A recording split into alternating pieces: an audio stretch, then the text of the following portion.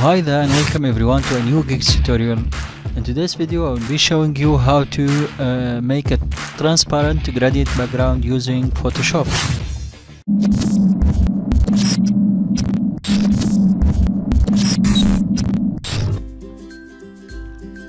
So after opening your uh, uh, Photoshop application let's start a new uh, image new image okay. Next you head on to gradient the icon here and select gradient. You will be given a, a color here or pattern click on it and select the second one which we have half which is transparent and half which is colored. Okay. so here uh, at the top you can adjust the uh, transparency let's keep it as it is now. Click ok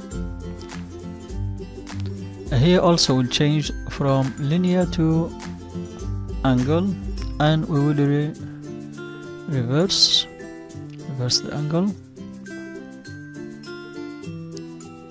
Click ok. Now we'll head on and select our image what we want to use under the background double click on it. Okay next we'll drag it here. Okay adjust size. Www.raqmedia.com. just the line? Okay select apply. Next we'll change the order of layers here. As you can see the layer has been uh, put in the background.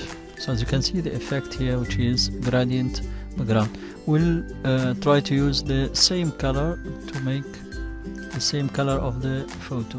Here we need to use the picker pick a color. Okay next we'll go back to our gradient fill or gradient layer. Select color and select your color from here okay? As you can see it has changed changed. Now we need to adjust the transparency at the top to make it okay?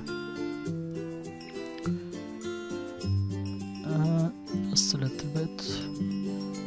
Okay it's done here also you can adjust the angle. Okay if it is as you can see the angle is not okay.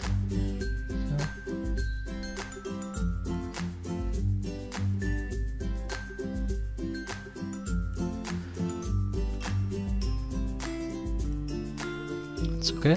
So click on ok and it is done as you can see here you have half which is transparent and the rest which is colored in which you can put your uh, text.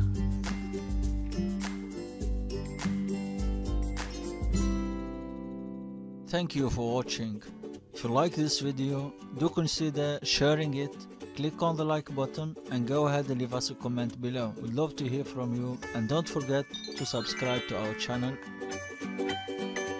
And the notifications to get the latest tutorials that will inspire, empower and connect you.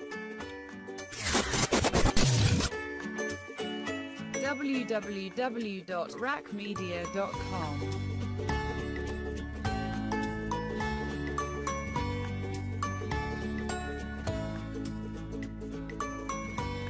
Bye for now, see you next video.